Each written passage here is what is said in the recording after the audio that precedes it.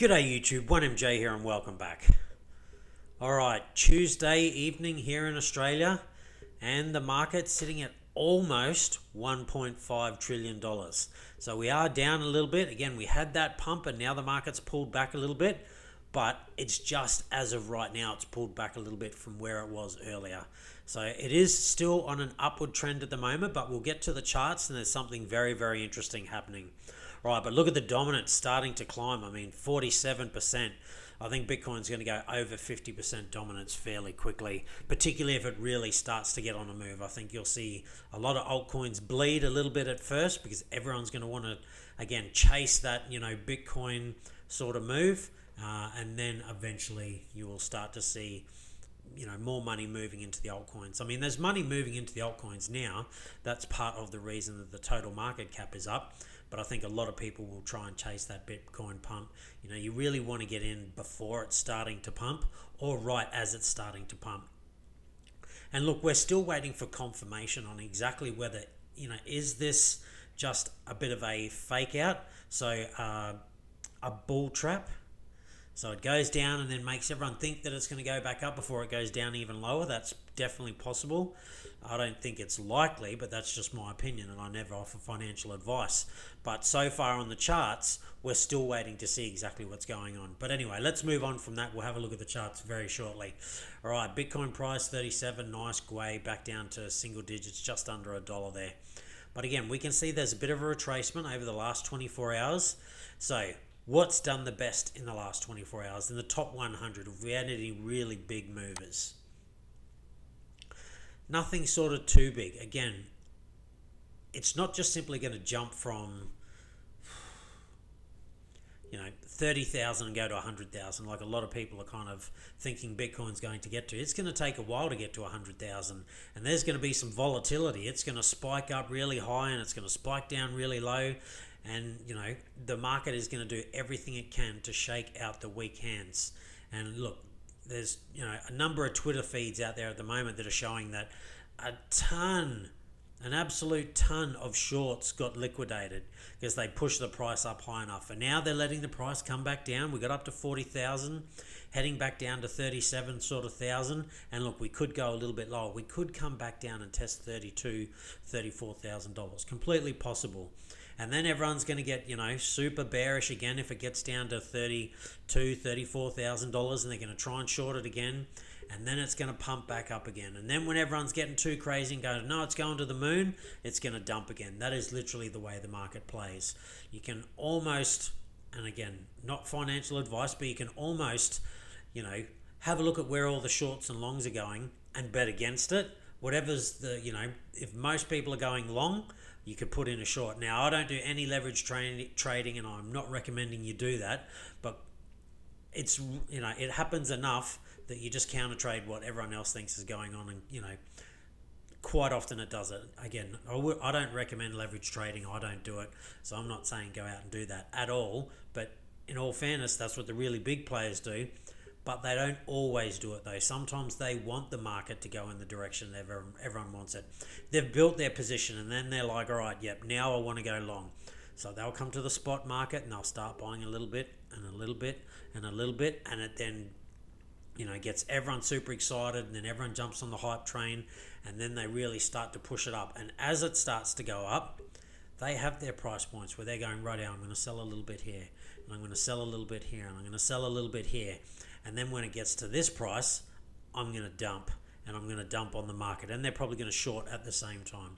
So that's what you need to remember with. That's why I don't do leverage trading. It just, it, yeah, it's not my thing. I know there's people out there that probably make quite good money out of it, but I'm just an investor and I like to buy when it's down. I try not to buy into things that are at all time highs. Now, again, it's not to say that I won't buy into them for a swing trade because quite often when something hits a new all-time high if you're there at the right time it's going to go a little bit past it it'll come back and retrace down to it again and then it'll really start to rocket but sometimes it can go a little bit past it and then just really dump. It was basically a fake out so you have to be careful with it. And again i don't do a lot of swing trading but on occasions I do do I do sorry I do do I do some swing trading Sometimes it works out really well for me. Most of the time, uh, it's you know I break even or I lose money. So yeah, that's that's kind of the the sum of it. Hence why I don't do it a lot.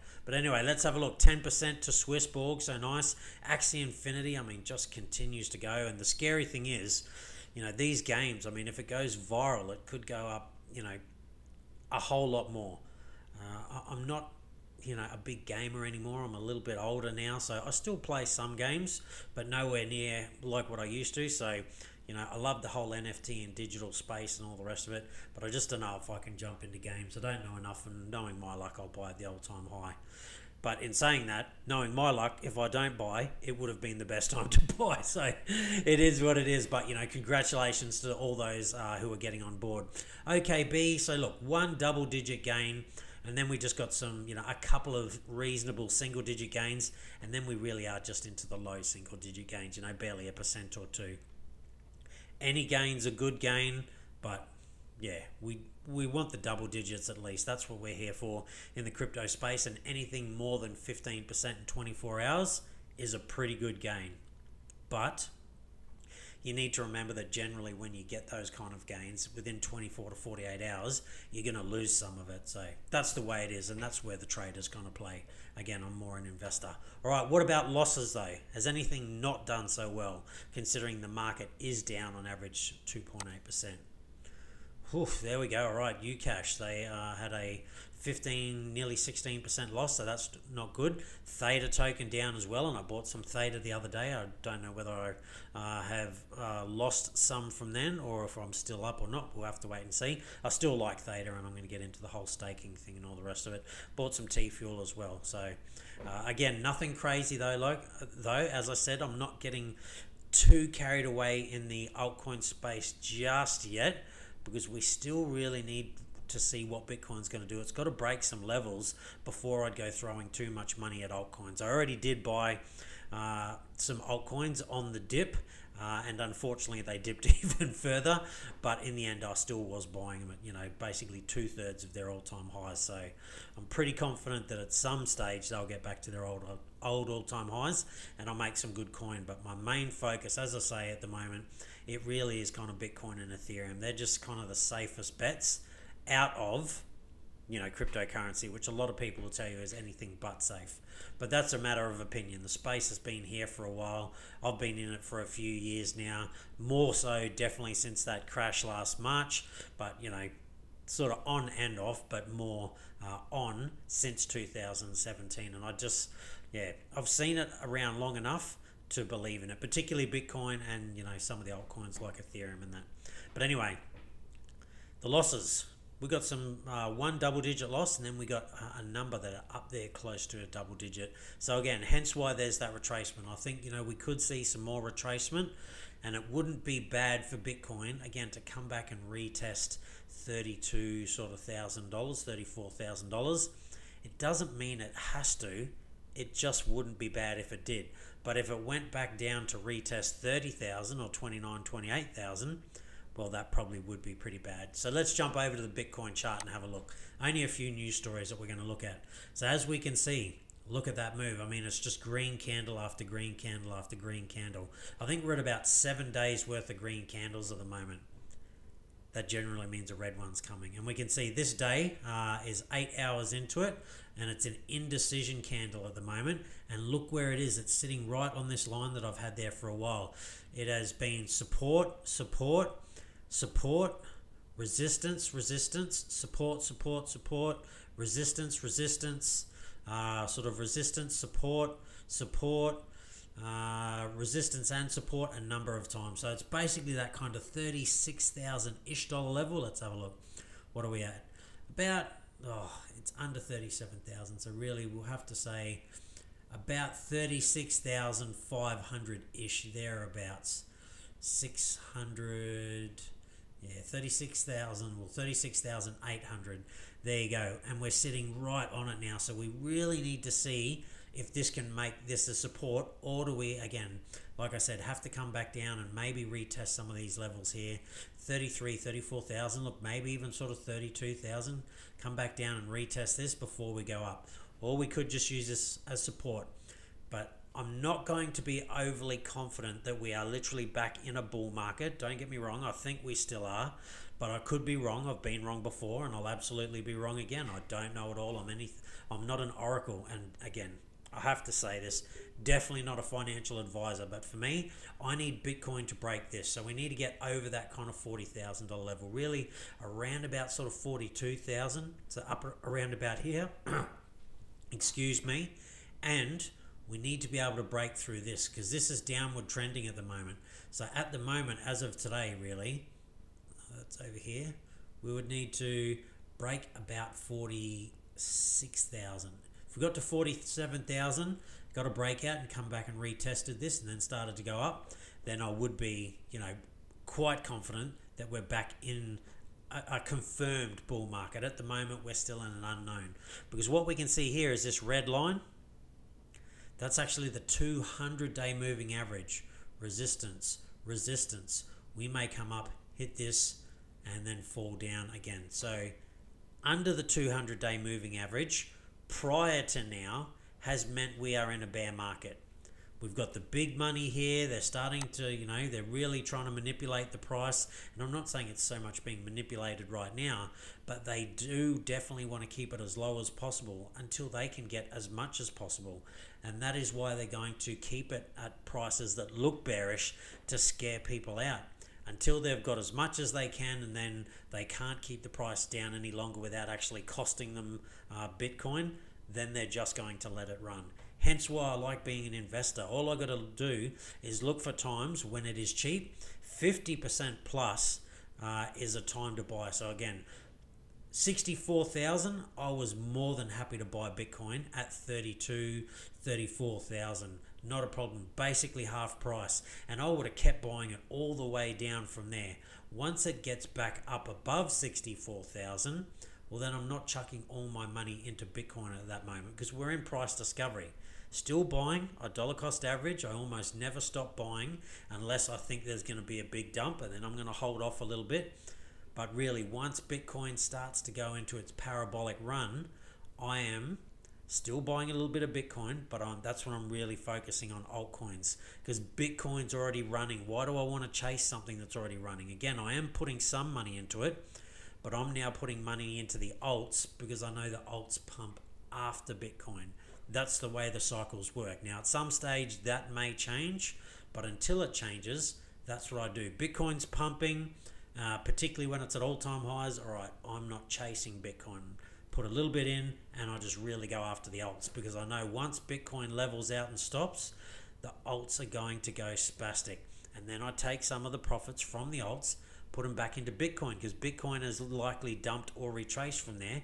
And then I have USDC on the side as well that's my plan. Uh, if that's something that you like, then you know you can consider that. But again, don't simply copy me or copy anyone for that matter, just because it works for them. It may not work for you. All right, a couple of news stories, very quick. I don't want to take up too much more of your time.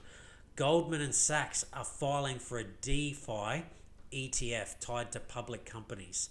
So it's not the kind of DeFi that you're thinking. So it's not an ETF that's actually linked to DeFi it's a ETF that's linked to companies, so public traded companies that have aligned themselves with DeFi. So it's still old legacy traditional finance that they're investing in. So it says here, according to filing today with the Securities and Exchange Commission, it's ready to offer an exchange traded fund or ETF linked to companies in the sector, but not again. So they're not investing in like Aave or Synthetix or Compound or anything like that. They are investing in, you know, again, I guess what we call real world companies that are onboarding onto DeFi. So the Goldman Sachs uh, Innovative DeFi and Blockchain Equity ETF will provide investors with exposure to companies aligned with the themes of blockchain technology and the decentralization of finance. So I mean, you go down here and Charlie Shrem, he says Goldman Sachs DeFi fund contains only legacy companies and has zero crypto initiative companies. So again, it's not investing in Aave, it's not investing in Compound or Synthetix or Uniswap or anything like that it's investing in old, old, you know, stock, uh, yeah, companies with stocks and things like that that are aligning themselves with the DeFi and blockchain space. So still, you know, somewhat positive. Uh, but I think they will definitely change in the not too distant future, and they will have again ETFs for DeFi and things like that. But we may still be, you know, a year or two away from that. We need regulation, and that's what is really holding back a lot of the big companies from getting more into crypto, other than just Bitcoin and Ethereum. That's really where most companies are, are going at the moment, outside of VC venture firms and things like that. But big publicly traded, excuse me, companies and that they're not jumping into crypto at the moment. They're circumnavigating it by going after again things like this, ETFs and that that are tied to it, but not actually buying it. All right, Plan B. He's holding strong, good and good on him. Plan B explains why he sees Bitcoin trading at five million dollars in the future, and for that he is not selling his BTC. Five million that is a lot. I, I, I, don't know how long it's going to take to get to there. Uh, I'm guessing for on his stock to flow, the S2F model, it's probably within the next decade or so. But again, we'll have to wait and see.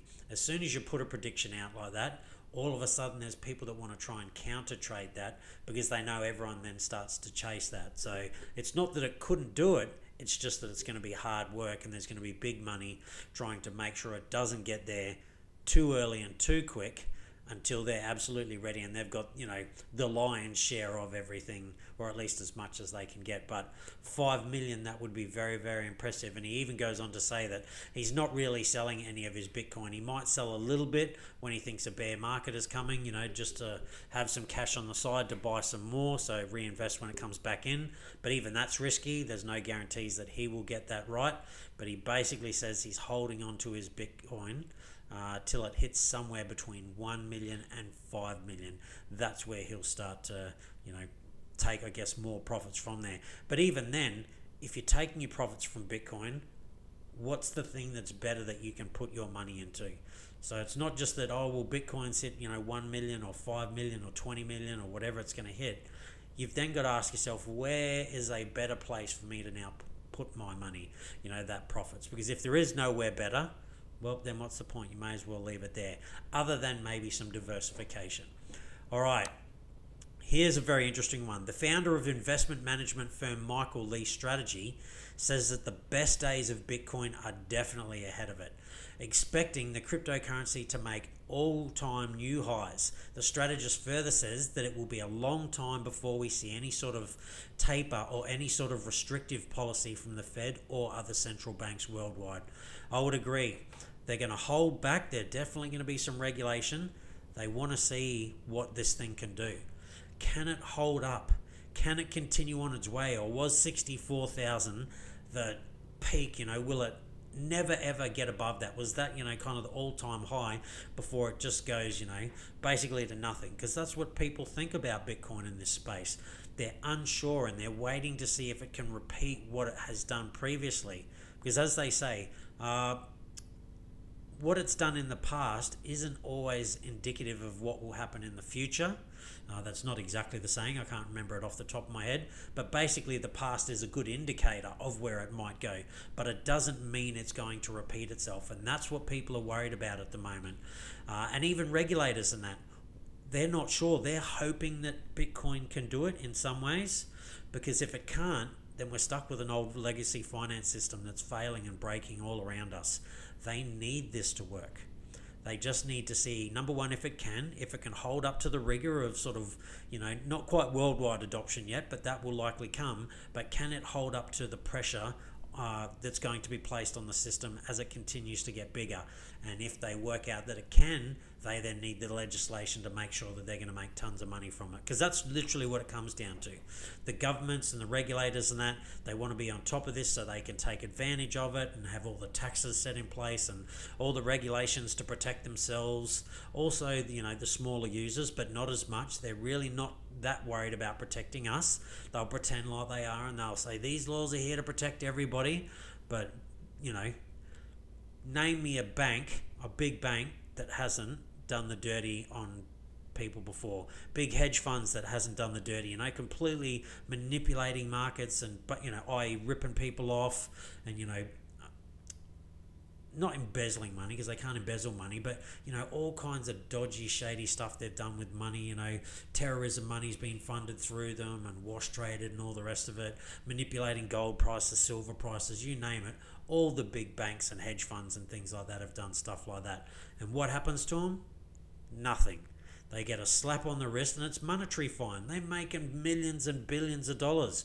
You know, you go to some big, massive uh, venture capital, not so much venture capital firm, but hedge fund or some big massive bank or something like that, and you say, "Rightio, you've been bad. You know, we're going to give you a fifty million dollar fine." A fifty million, a hundred million, two, three hundred million dollar fine for companies that make you know hundreds of millions of dollars a quarter, if not hundreds of millions uh, and even billions of dollars a year you know, that's like someone coming to, you know, at least me, I don't know what your financial situation is like, and they say, rightio, mate, we got to give you a fine of a hundred bucks. Yeah, it'd hurt me for the week, maybe even two weeks, that might kind of hurt, or a month, possibly, but generally I'm going to get over that pretty quick. A hundred dollars isn't going to make or break me. And that's the same thing that those fines that are offered out to these companies that get caught doing the wrong thing, it doesn't do much to them. Yet the average person, if we were caught doing something like that, we'd likely be looking at jail or the fines would be so big that it would take us years to be able to, you know, get, you know, pay them off and get past it. But it's not the same for the big end of town. Unfortunately, they generally look after each other. All right, last but not least. So everyone got a little bit pumped. You know, the rumor was Amazon was going to accept uh, Bitcoin uh, payments. Not that too many people are really going to want to pay for much in Bitcoin. It's a you know, it's a store of wealth more than it is anything else. But Amazon has come out and said, and plain and out said that they deny the rumors uh, for the support for Bitcoin uh, as part of the payment system. And look, that may have something to do. Whoops, sorry, we go over here. Of why the price of Bitcoin has come down a little bit, down around 37. I think that's still more of the market just making a move, and this uh, news is still new, so it's only four hours ago. So I mean, yeah, we'll have to wait and see whether that's really going to play a big difference or not. I really don't think it is because again, I don't think too many people were really going to buy too much from Amazon with Bitcoin anyway. It'll be more interesting because there also the rumor was or at least is that they're going to accept some other cryptocurrencies. And you know, BitBoy's come out and he said that there's a rumor that they might be uh, supporting Algorand, so that will be more uh, interesting to see if they come out and say that, and then what maybe happens to the price of Algorand and things like that. All right, I won't take up too much more of your time. It's late here. I've got to get ready, get up, uh, got to get ready to go to bed and get up early in the morning. That's the kind of life I live. Still got a job. All right, stay safe. Be kind to one another. While we may not be on the gain train in this little short amount of time, we you know we all should be on the gain train at least over the last kind of six or seven days. All right, that's it from me. I'll see you next time.